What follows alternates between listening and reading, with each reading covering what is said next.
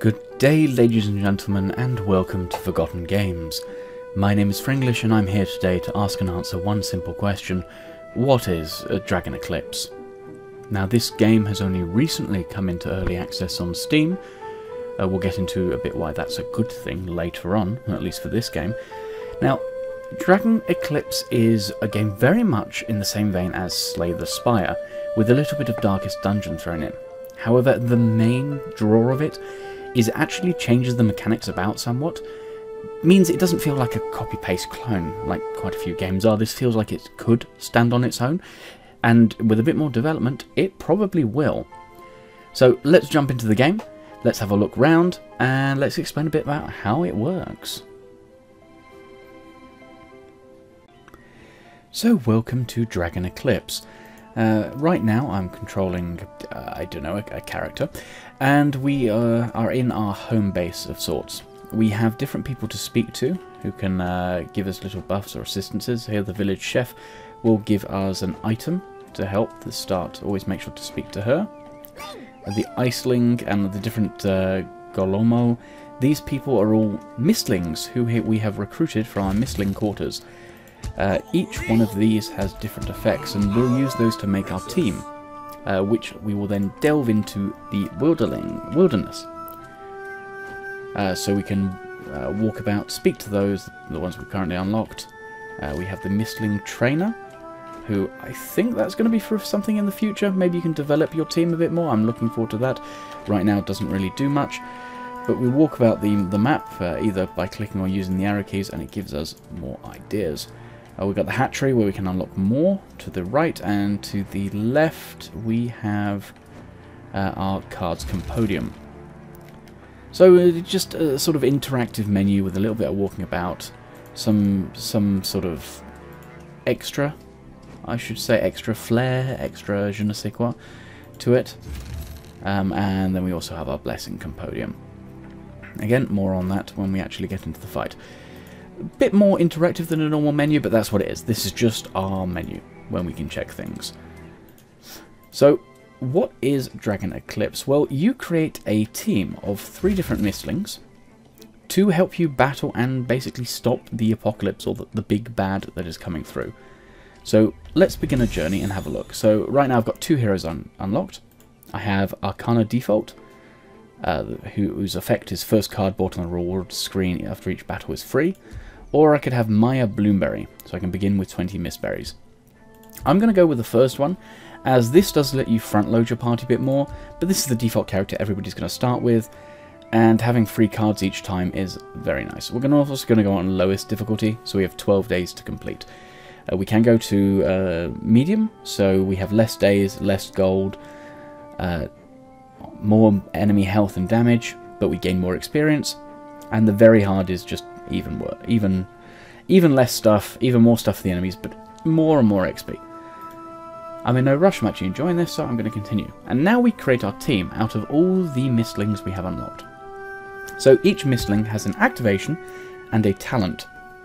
Now the talent is something that can affect the mystling based on certain characteristics, and the activation is an effect you can activate, as weird as it sounds, the mystling with.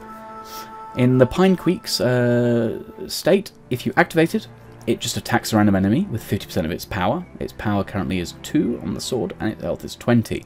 Those are its base stats.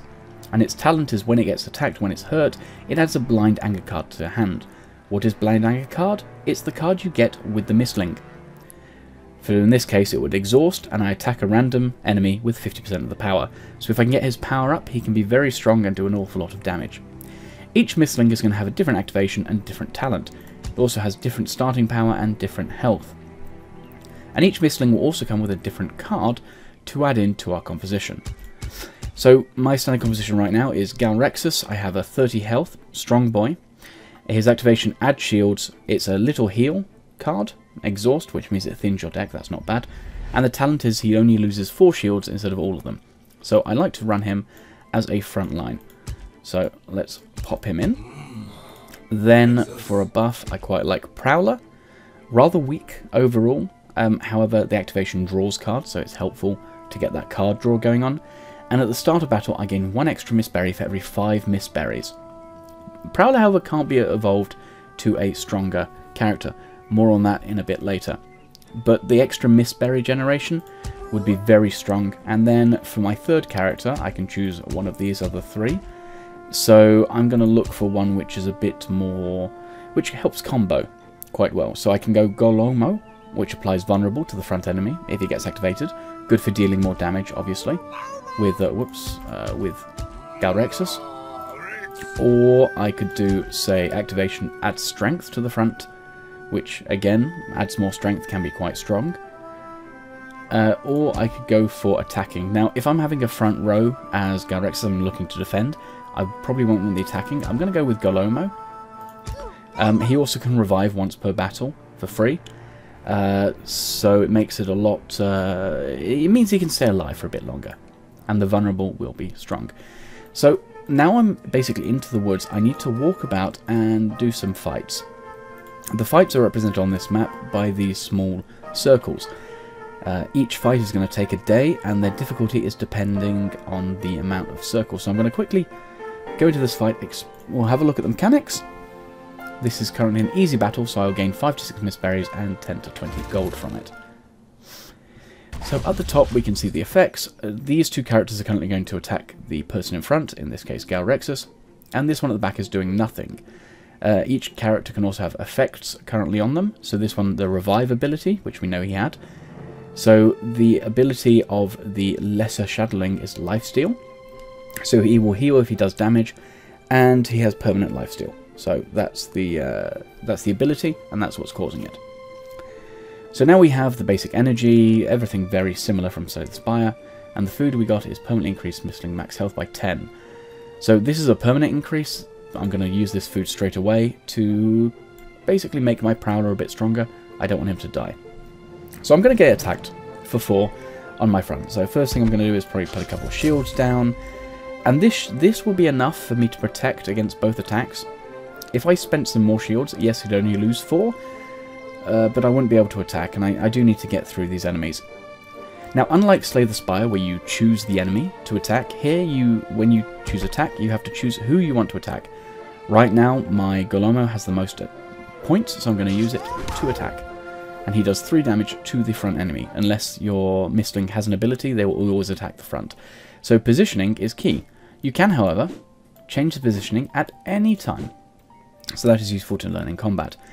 Now we're going to hit end turn, and what happens on the end turn? All the mystlings will basically um, either use the abilities if they have some, and the person in your, the front of your party, in this case Galrexus, will do his attack.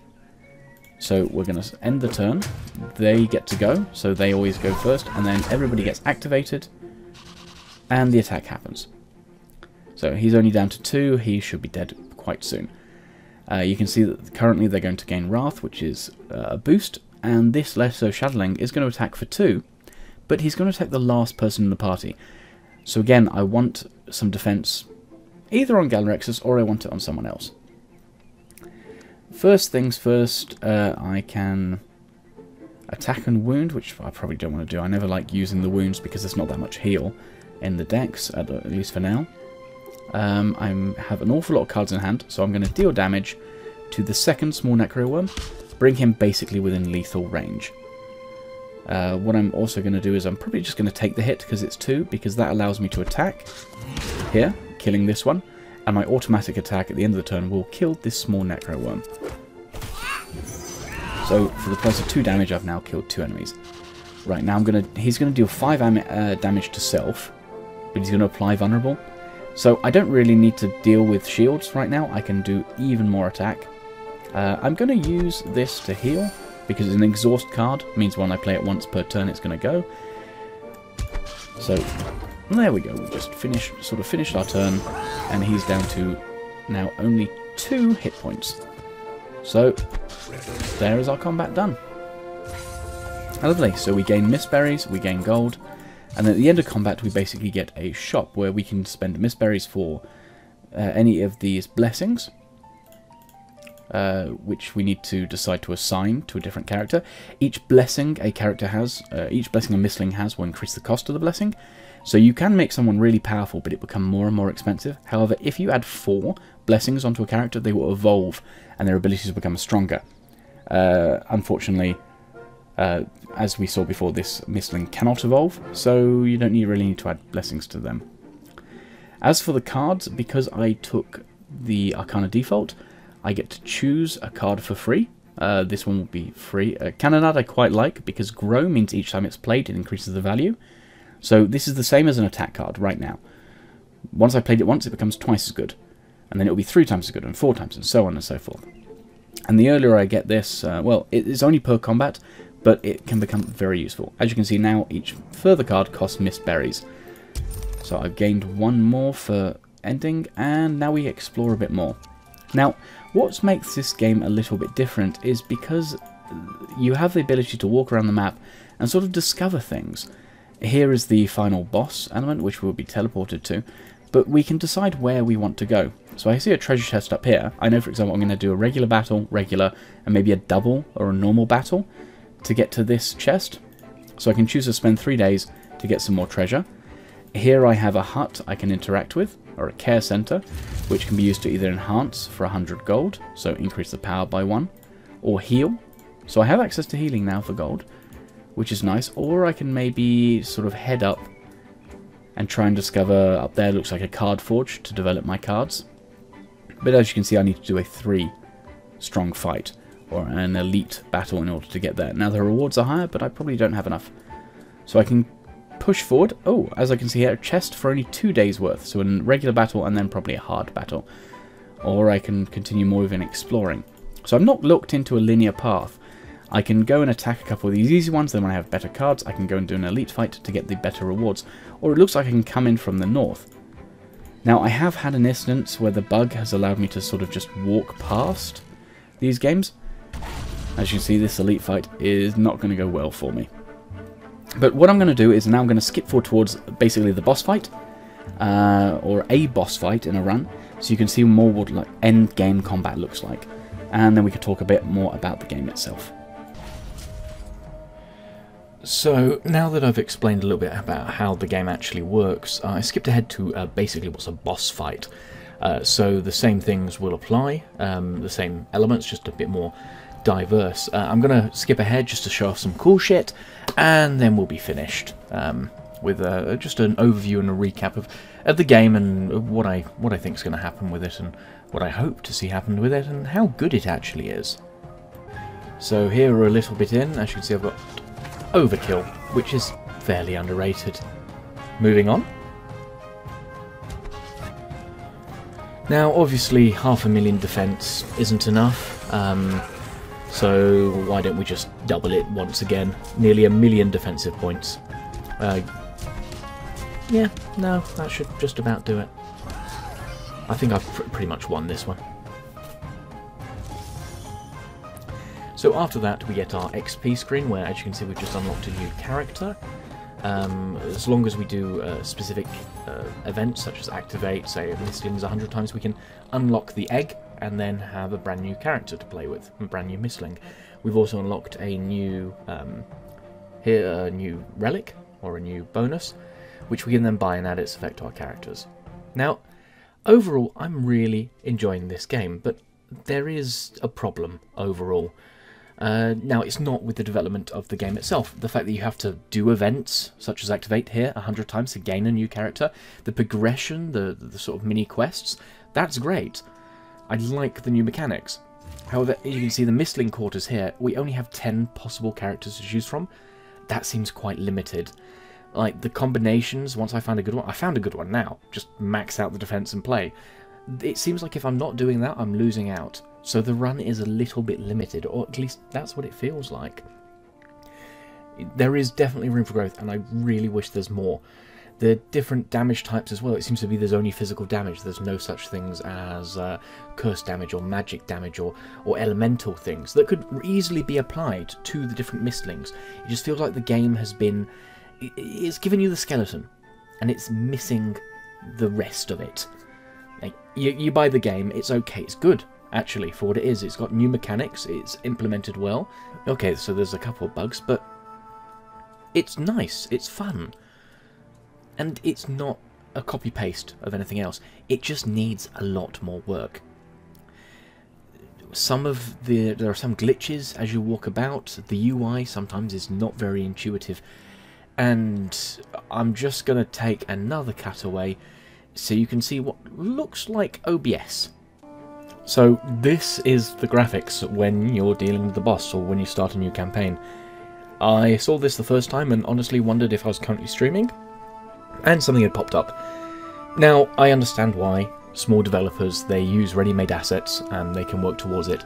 It just seems like this game has so much character and potential that it is a shame when things are reused. It is a shame when you can blatantly see that's copied. Now, I don't know how many hours they'd have to do to fix that, to create their own custom graphics. It is a workaround. It is a fairly decent workaround. It is a small studio at the end of the day. It's just, it feels like it's letting the game down because it is so good or it has such a good base that it can be much better than it currently is. Now this is why I think the game is good in early access. Early access lets people get a taste for the game right now. I'm never normally a fan of it, but it's workable. It's not an early access where it's a money grab and things aren't working well. It's not that expensive. It does deliver. It's okay for the money you're spending. Uh, but we don't need to worry too much about eh, them continuing to develop because it's okay on its own, but it can be great. And I'm looking forward very much to how this game is going to develop, if they're going to add different damage types, if they're going to add more mystlings, if they're going to add different combinations, or, or different ways to affect the game. And I'm going to continue until I've probably unlocked everything. That's, that's how good it is, or it's worthwhile. Anyway, I've been Fringlish. thank you very much for watching, I hope you have a lovely day, and I hope to see you next time. If you want more of our content, there are a couple of links all ready to click on the side of the screen. So, I hope you've enjoyed yourself. Until the next time, goodbye.